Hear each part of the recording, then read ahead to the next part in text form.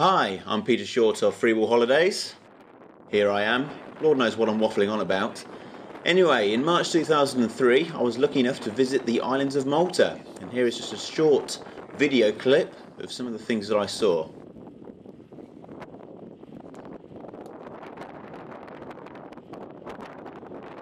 As you can see, Malta's looking quite green at the moment. This will remain the case till about June or July before the temperatures do get very hot.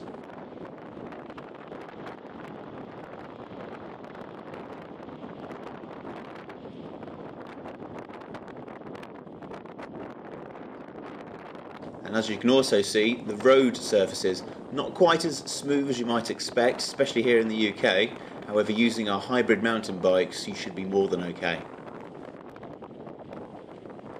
Also notice these red civet signs. This is part of the Malta National Cycle Network. We'll be following these for one of our routes Yeah, notice it's getting quite bumpy here. This isn't my dodgy camera work. I have a media A level, don't you know? And as we come around the corner, you can see Gozo, Malta's sister island, far in the background. You'll be visiting here on day four of your seven night itinerary. Also note the lack of traffic. We've tried our hardest to avoid the busy roads as much as possible.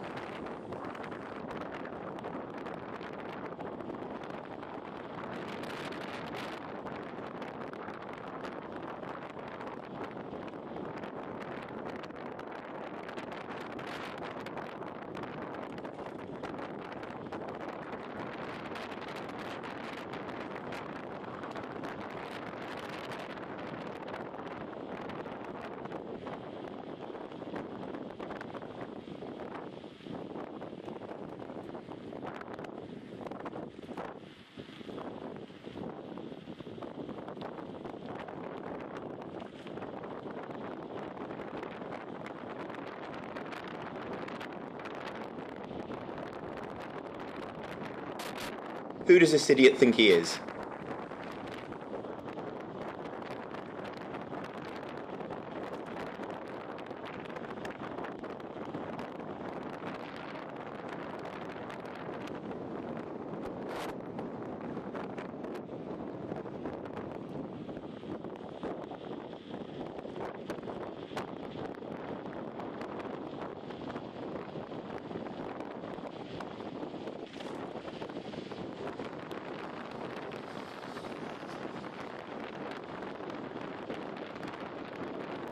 Careful not to go too fast at this point as there's a speed bump coming up round about now.